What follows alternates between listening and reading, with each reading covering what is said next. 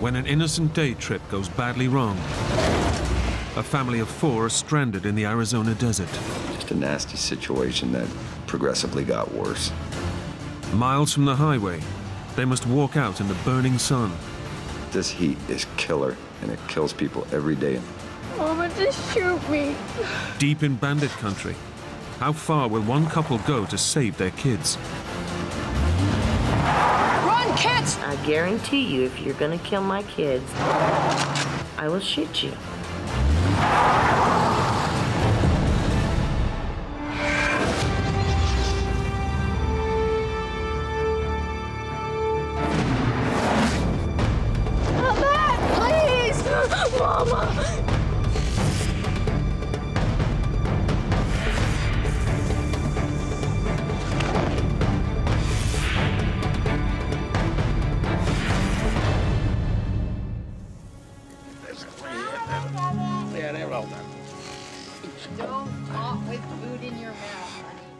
Shelly, her two children, and new boyfriend Roger are enjoying an afternoon out in the Arizona desert. My kids both have been raised in the outdoors. Um, Tiffany was attending school, and Michaela had just started kindergarten. Didn't know I was a dancer, did you? This is an extra special trip. Shelly's boyfriend Roger has just moved in and wants to make sure everything runs smoothly. What helped the relationship is because the girls really liked Roger. Get that face up. He was always very, very kind to me. Hang on, uh, let me get you Okay, nap. rub it. Tiffany, at nine years old, was always reaching for a father figure. I was like, okay, I guess we're gonna try to make this work because the kids really like you. You seem like a good dad. There you go. More. Oh boy, oh boy. The girls are my life, and they have always been my life. And I would do anything for them. It's a good break to get out in the desert, and it's close enough. And you can grab a couple packs of hot dogs and some buns, and, you're, and we're good to go. The family have driven from their home 40 miles away. Okay. For Roger, it's new territory. But Shelly has been coming to this area since she was a child. Coming from a family that didn't have a lot of money, the entertainment that we would do as a family is go out in the desert. The Arizona desert is a vast wilderness, covering 120,000 square miles. It's known as one of the world's harshest environments. But for Shelly and the kids, age 9 and 5, it's a perfect place to take part in one of their favorite activities. It's always fun. Every time we go out, it's fun. Shelly is curious to know how her new boyfriend will get on. Roger was the kind of guy that worked in an office, in air conditioning. And if things needed done at his house, he would have somebody come over and do it. Pull. Oh.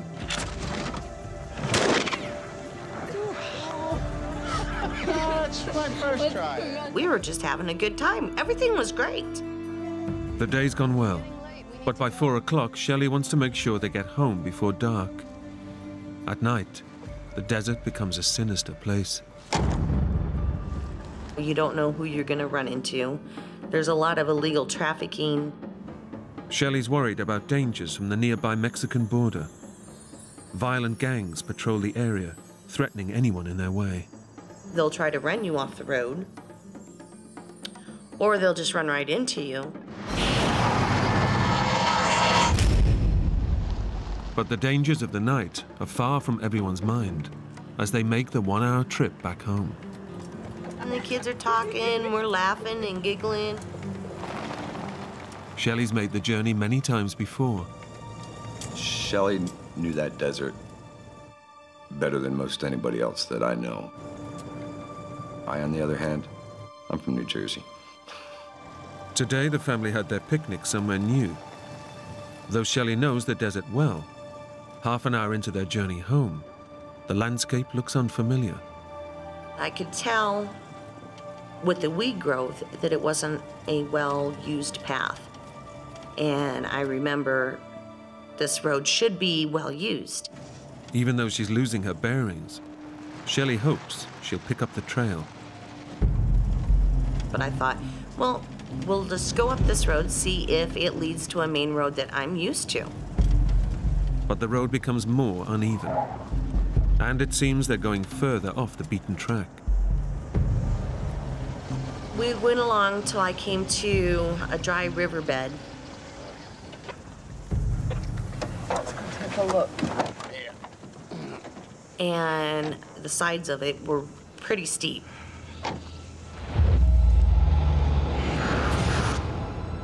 Mm, I don't think we can make it. Being in a two-wheel drive truck, you don't, your only traction is your back tires. I says, Oh, I'll drive. I'll get us through there. We'll be out of here in no time. Hoping he can save the day, Roger takes over.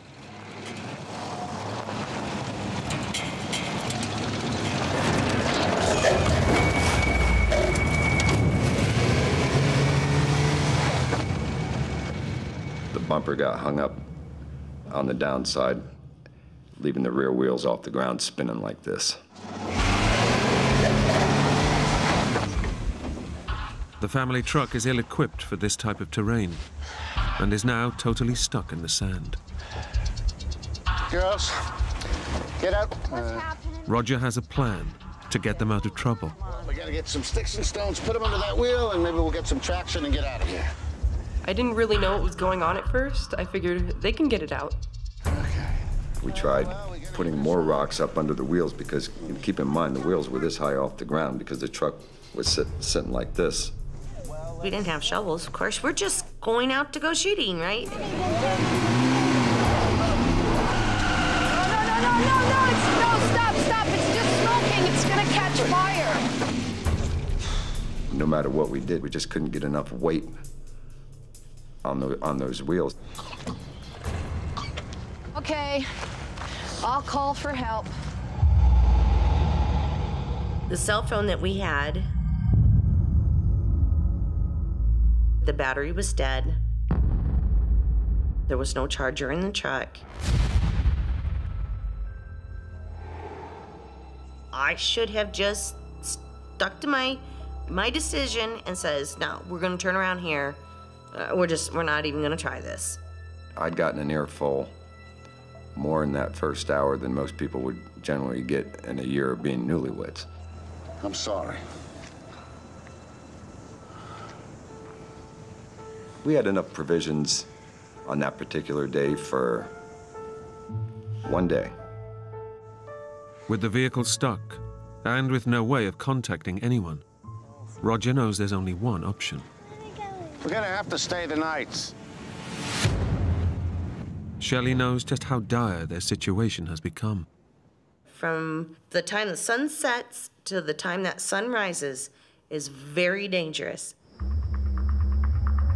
I only had one thing on my mind, and that was to, to get my girls out of that desert.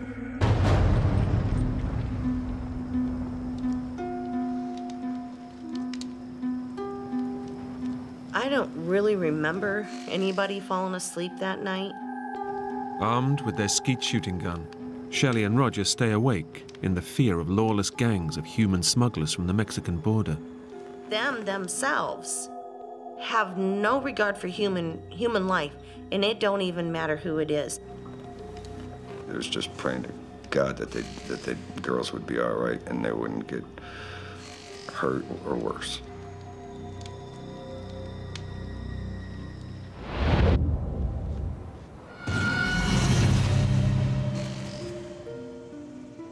Relieved when the morning arrives without incident, everyone tackles the day with renewed energy. We're encouraged, you know, we're kind of energized to say, by gosh, we can do this.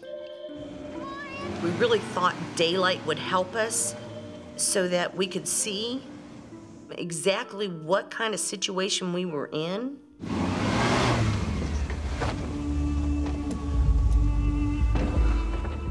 With the truck still stuck fast, Roger knows he's got to come up with something to get his new family home to safety.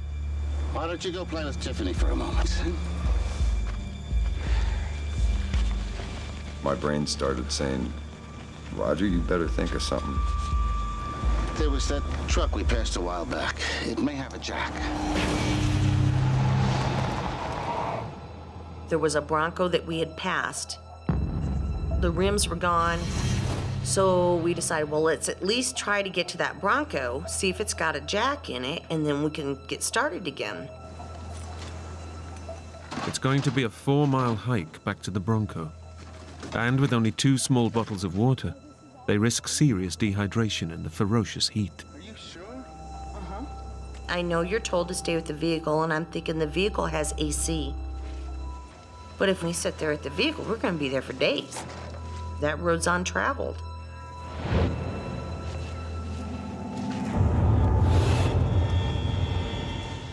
Even at seven in the morning, the sun is wearing them down. We knew it was going to be hot, real hot. Not what most people in civilized countries are used to. Not your 85, 90 degrees. Try between 115 and 118 degrees. It's particularly tough on the kids. Their lower body weight means they get dehydrated quicker. I want someone now. Oh, honey. Okay. Oh, every 20 feet, everybody's sipping water, and, and, and I'm noticing that there's only one, one small sports drink bottle left. Take it easy, Tiff. We gotta make it last.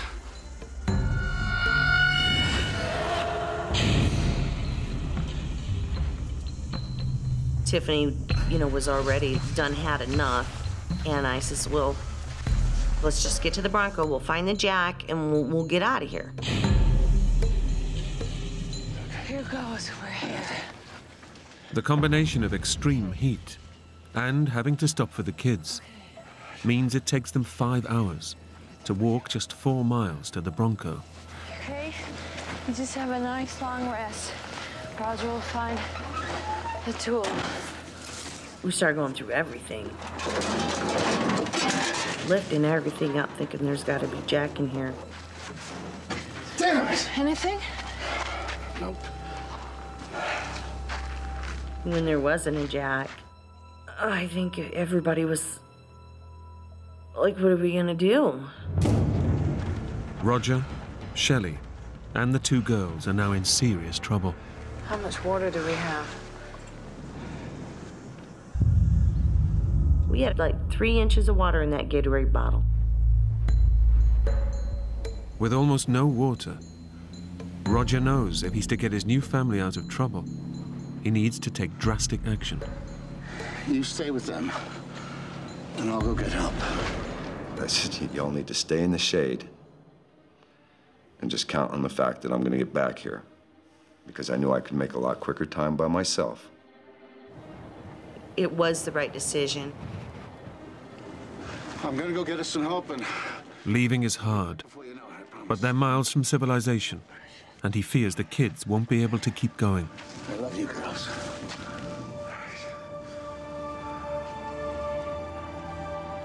Probably the toughest thing that I've ever done in my whole life. Oh, I'll be back before you know it. All right? Give everybody a kiss. And I started on a slow jog, actually. He was feeling very guilty. I mean, when he walked away from us, he almost was running. And I'm thinking, you can't do this in the heat.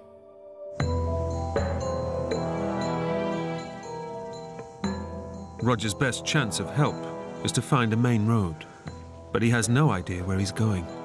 And after just half an hour, he's feeling the effects of the 118 degree heat. It was not so bad at first.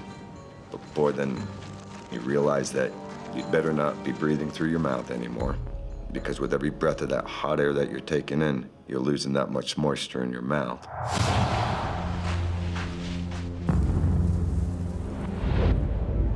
Roger has been following the only path in the vast wilderness of the desert. Now, as he stumbles to a junction, he's faced with a choice. One way leads out, the other takes him deeper into the desert. There's not much tire tracks. I'm thinking to myself, this definitely is not the way out.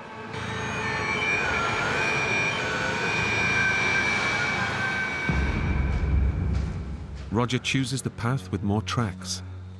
With Shelley and the girls depending on him, he can only pray he's made the right decision.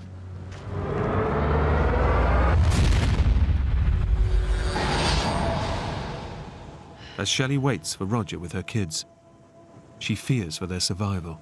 I want some more. I want to go home. We were all really getting weak.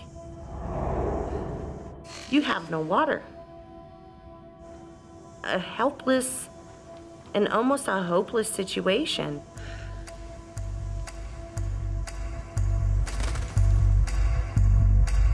They've pinned all their hopes on Roger. But three miles down the road, he is totally lost. I slowed down for a second and I looked at the enormity of that desert. With the sun just blaring down, ruthless on your face. With no point of reference in the endless terrain, Roger must do everything he can to keep his bearings. My thought process is that as I find my way out, I darn well better be able to find my way back.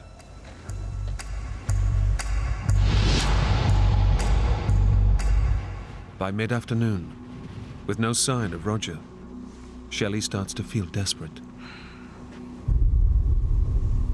Maybe we should go. What if he comes back, Mama? We discussed it because me and my mom are both stubborn. I said to the girls, if he dies, if we sit right here, we'll never get help. We have got to walk. Leaving seemed the best choice. But with the sun beating down and two children in tow, Shelly soon feels the strain. Even though you're raised in Arizona and they say that your blood's thinner, a body's still a body. You still get hot.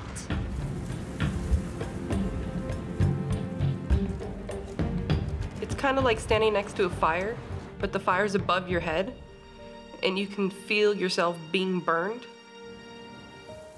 And you're running out of complete energy. There's no more energy left.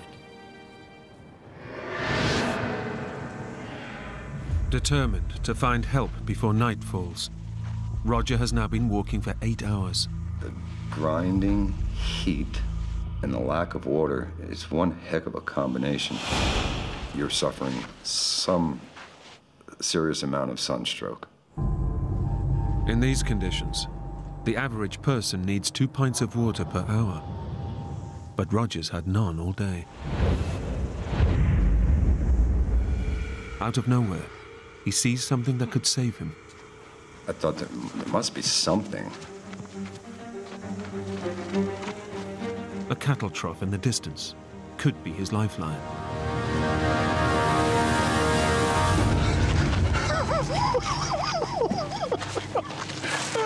I got mad and started picking up rocks and throwing it at the water trough and kicking it and cursing. And that's when I realized that things were not going to get better in a quick hurry here.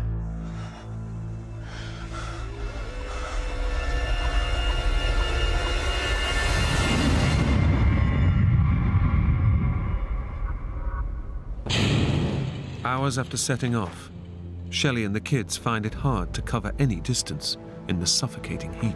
Let's go and sit. Have a rest. Until now, there's been no sign of Roger. I noticed Roger had started putting cans and bottles and stuff in the trees. Now they arrive at the same junction Roger passed earlier. But unlike him, Shelly recognizes the landscape. And I'm like, I know these mountains. If we go straight over those mountains, then home's right over that mountain. Shelly realizes that Roger has taken the wrong road, the one that leads deeper into the desert. She doesn't know what to do. Home's that way. But he went to the right, and if he finds help, he's gonna come back the way he walked. Shelly must decide if her kids will survive the trip over the mountains or whether Roger will find help first. Come on. Come on. She gambles on Roger in the hope he succeeds. Our options were not good options. We didn't have a good option in there. As the afternoon draws on, they become more dehydrated. Without water, the body can't flush out poisons or regulate temperature, causing weakness, headaches, and delirium. My head was hurting and it just hurt to walk. I was so thirsty, my tongue was sticking to the top of my mouth, and I would do anything for water. The thirst, you get so thirsty. If you could have anything in the world, what do you want? A big glass of ice water.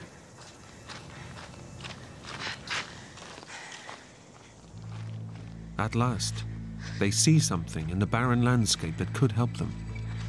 They come across the dumped belongings of illegal immigrants. Find some water.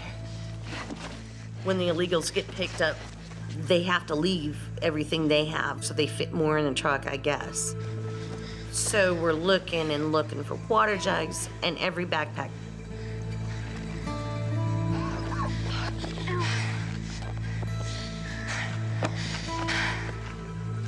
Okay. Do you think all these people died out here, mama? Oh, of course not, honey. Do you think we're gonna die out here, Mom? In my mind, I'm thinking, I don't think we're gonna make it. But at the same time, you can't express that to your kids.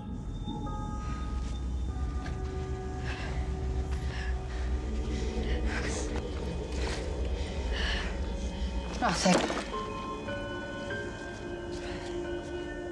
To be so close to something that you really are in desperate need of, it's just horrible.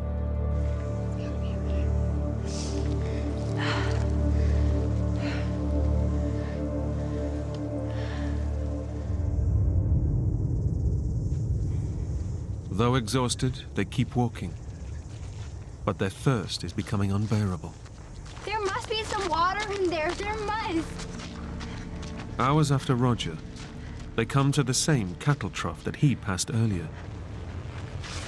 Nothing. Just have a little rest.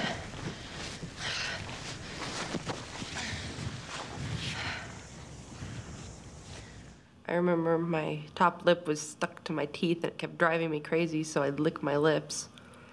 That didn't even work. What about the cactus? Tiffany had suggested that in her class she learned that the roots of cactus hold more water than the actual cactus.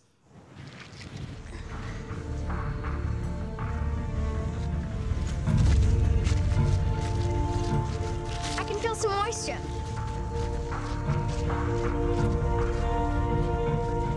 Oh, I don't think so. You do have moisture underground.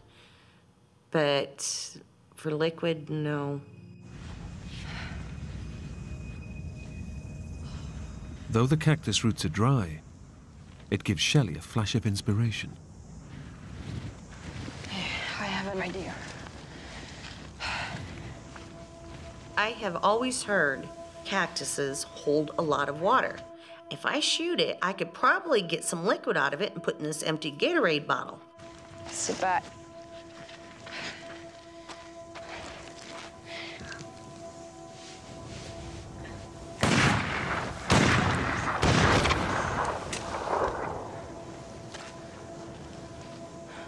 There's no water. It's almost like a sawdust, like fine wood chips inside it. That's it.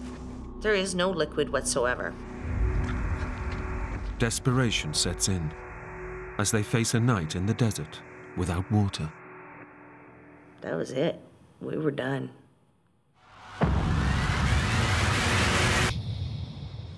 Roger knows how dangerous the desert is at night.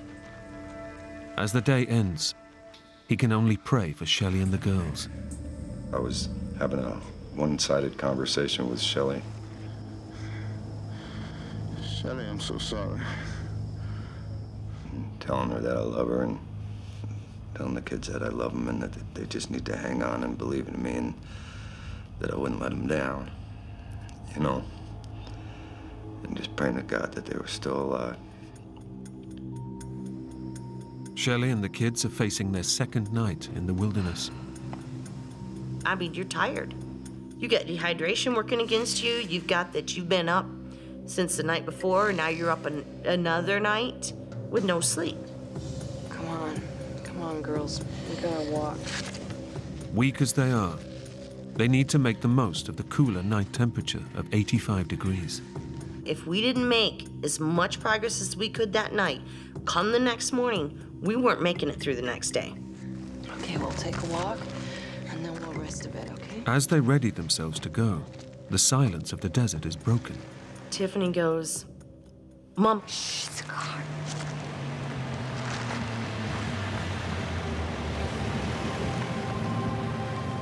In their relief, they forget all about the dangers of the desert. I'm like, oh, thank God. We got help. We got help.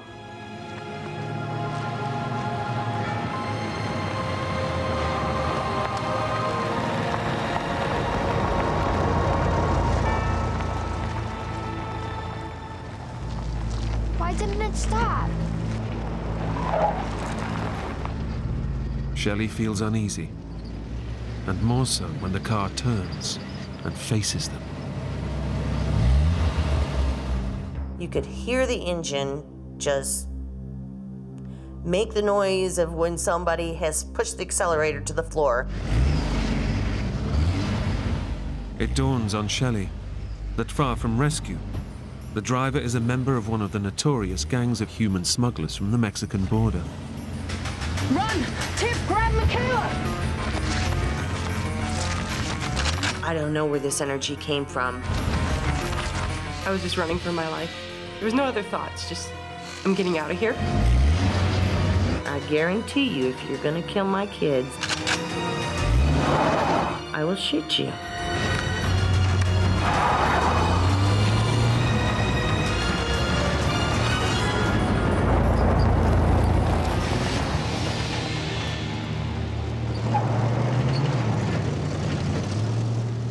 Shelly's bravado pays off, and at the last moment, the driver veers away. That person did try to kill us. Oh. Why did it turn around over? Come here. No, don't cry. All these things out there that could have attacked us the mountain lions, rattlesnakes, and the only thing that messed with us was our own race. Not the wildlife, the human race.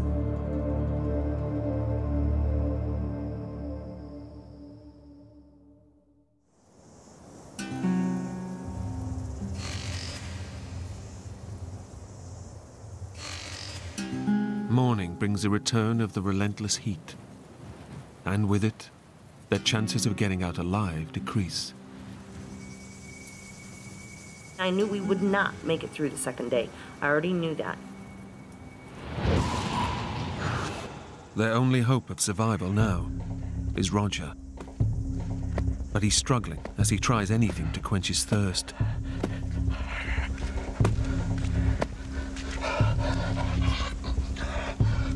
When I first put the pieces of cactus in my mouth, that was great for a second. Then realizing when the moisture goes away from what's in your mouth, it turns to like a sawdust. Though disgusting, the cactus has given him a few tiny drops of moisture. That one cactus saved my butt.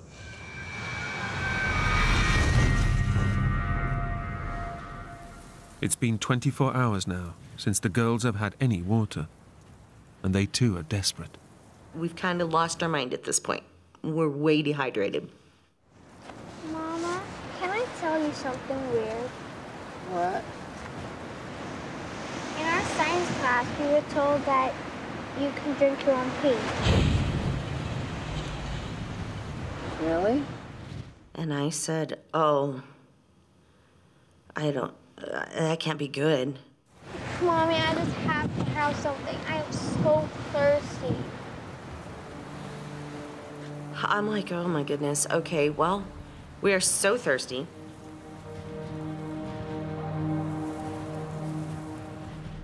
So I end up peeing in this Gatorade jug. They badly need to take on liquids. In these conditions, you can lose up to 10% of your body weight through fluid loss. More than that can be fatal.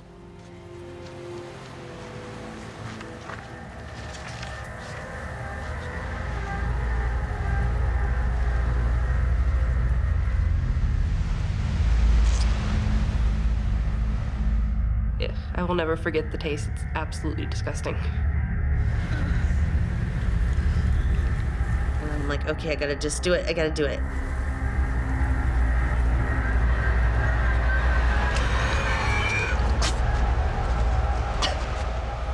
And then I made Michaela.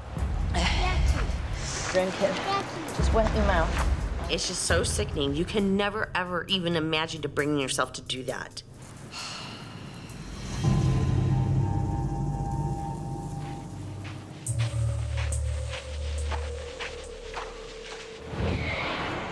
You can almost feel the weight pushing your body into the dirt and the sand. And I wouldn't let him down. I had already let him down enough. With no sign of help, Shelly makes a last attempt to get attention by starting a fire. And the sun's getting higher and higher. I'm thinking, where in the world is Roger? He couldn't have made it. I told you I'd come back. Roger? What, At last, it seems their prayers are answered. Roger's here. I heard him. Really, Mama? Where? Yeah. Roger! We're here! Roger! Roger! Roger!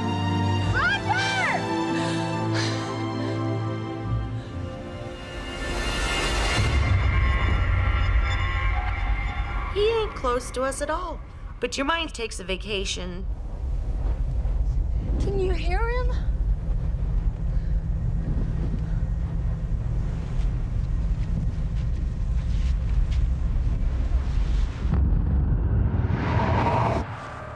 Roger, too, is showing symptoms of advanced dehydration. Lack of water stops vital impulses being sent to the brain and causes blurred vision. Now his body is giving up. There comes a point, and this is when you really know you're in trouble. You stop sweating. Because now there's no moisture left in your body to get out of your pores. But however tough it is, the thought of Shelly and the kids drives him on. You think about your family. Hmm. You can't give up.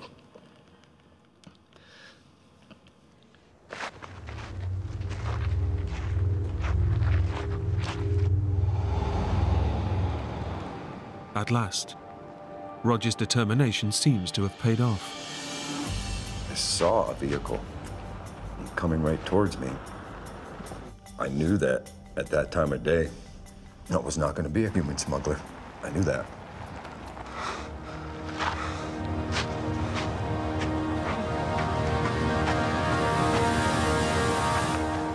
I thought everything was going to be okay then.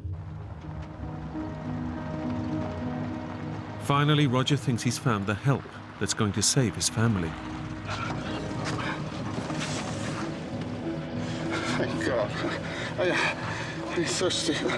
My girls need help. I hardly talk because there's no moisture, and I'm, I'm saying I need help. Please. Please. Uh, agua. Agua. What was that, amigo? the girls are... I think we got ourselves a genuine legal. No. Ain't that right, amigo? No, no. I'm thirsty. Thirsty. Thirsty? Yes. You, you want a drink? Please. Oh, here we go.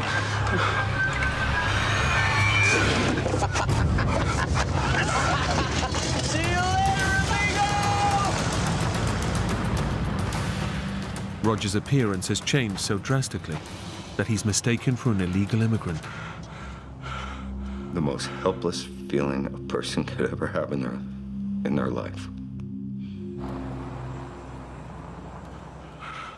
There, and I'm like, what else? What else could happen? I knew that Shelly and those kids were running on empty out there.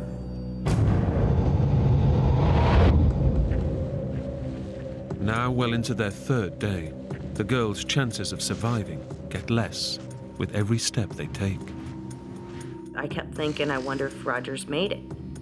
Has he passed on? Do I need to keep walking?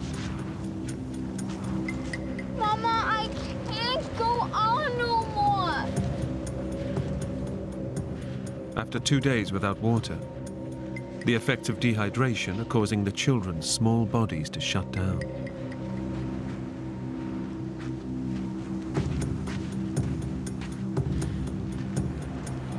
Mama, just shoot me. Just please shoot me, Mama. I really didn't want to live anymore because it was painful. Honey. As soon as she said that, I mean, my heart just sunk.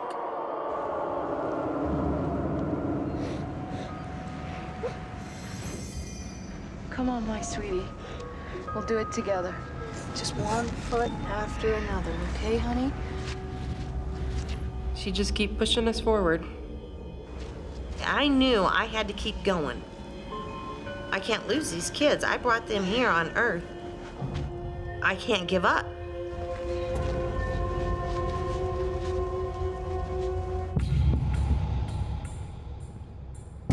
It's taken Roger two days to walk just 13 miles in the suffocating heat. Now he's losing his own battle for survival. I didn't have anything left in my tank mentally, I think, at that point. I couldn't feel any pain or anything anymore. Everything was just starting to get like a hot numbness.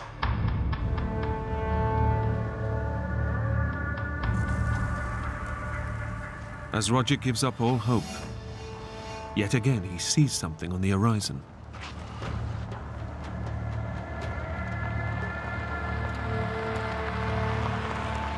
That truck came right up the same exact path that the prior one had come, right at me.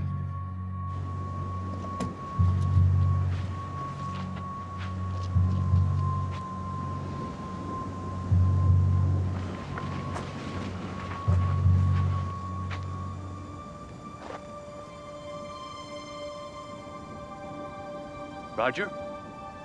He had recognized me because he's calling me by my first name right away.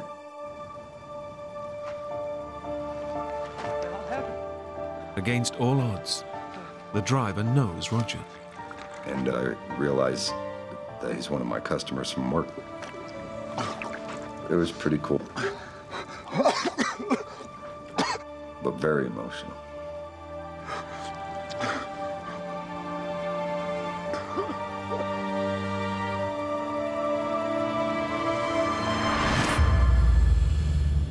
Roger is safe. But a few miles away, the girls can't go on anymore. With no shade, all that Shelly can do is bury her kids in the sand to cool them down. I crawled to her on my stomach, and I'm so weak, and I just start putting dirt on her, and I could never get her covered. She's crying for help, and I can't help her. It's a last desperate attempt to protect them from the heat. But deep down, Shelly knows it's too late. Between the cries out for help and the, um, wanting to be dead, you never will forget.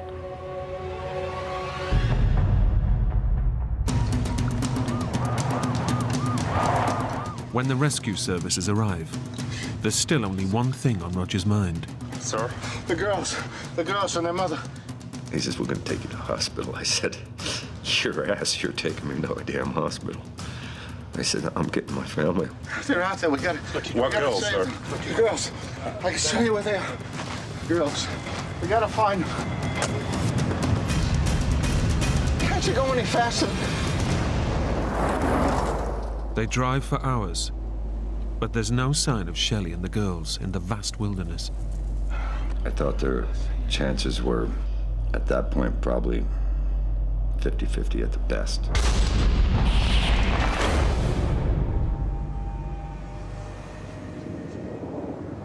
Out of nowhere, there's the sound of a car. Did you hear that?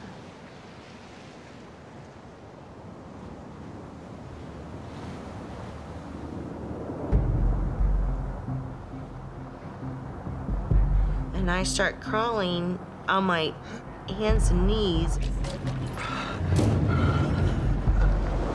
Please, please, please, where? With as dry of a mouth as I have, you're dehydrated, you're weak, and yelling for all you're worth.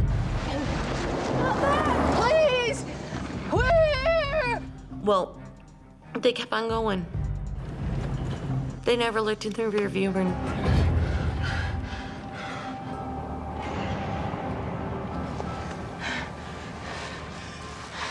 I was just so dehydrated. I could barely move myself. I didn't cover myself. I just uh, laid there on the dirt. They're definitely looking for us. And they're gonna come back. We just gotta hang in there. And there was silence. It's like the bell has rung. This is your last day.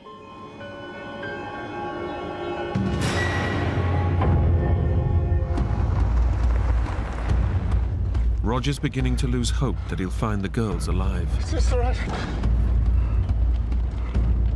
I didn't know anymore if it was going to be a rescue situation and pray like heck that it's not going to be a recovery situation. There, that could be them. At last, the smoke of a fire gives Roger hope that the girls may still be alive.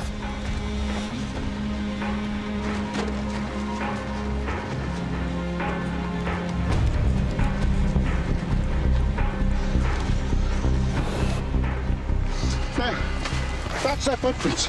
I, I, I recognize them. Clear as day, I could tell that they were from the girls because Tiffany and Michaela were wearing these sandals that had little circles for the tread. So now I'm really encouraged. A full rescue team is mobilized, but they're almost out of time.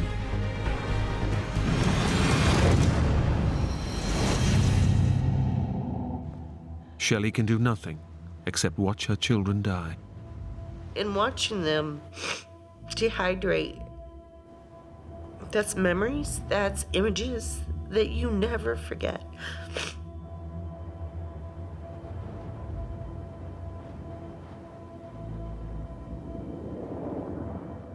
Just as she's given up all hope, she hears a vehicle.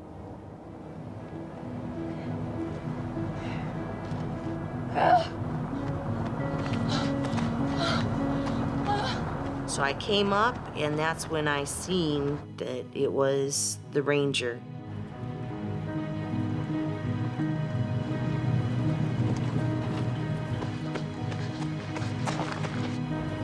We got help!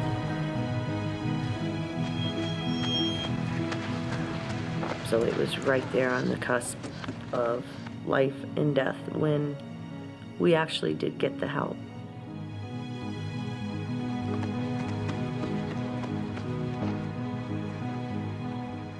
It was like having the weight of the world taken off your shoulders.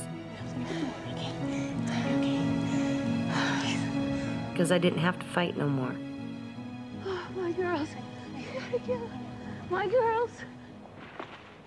But the family's ordeal is far from over. Michaela? Michaela! It freaked me out.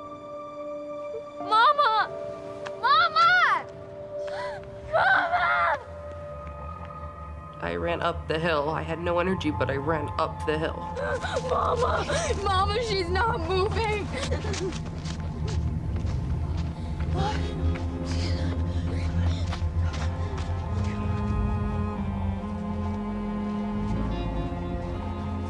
I thought, well, in the midst of trying to find somebody to help us,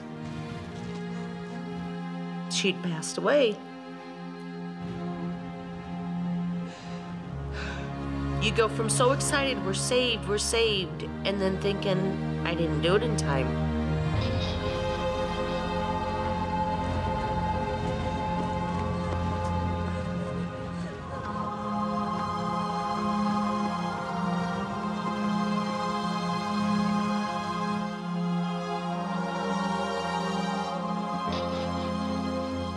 They kept trying to wake her up.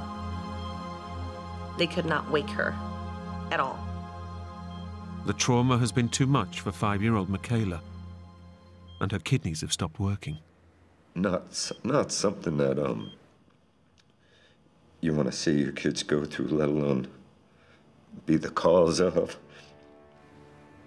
They had the chaplain come in and pray with us, and I'm thinking, the only time I've ever heard a chaplain coming in, and somebody's in the hospital, is when you're gonna lose that person. I didn't want to lose my sister. She's very important to me.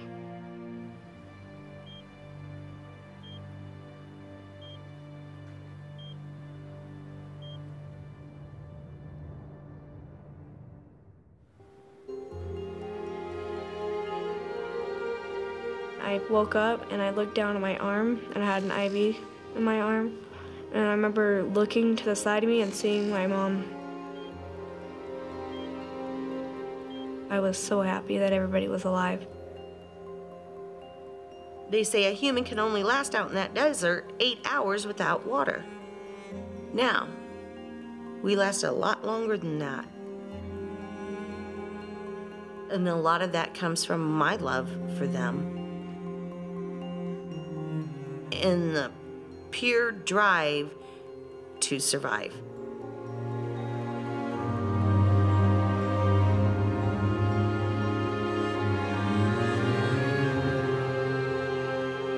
Michaela left hospital after a week and made a full recovery. Roger and Shelly got married a year later and are still together.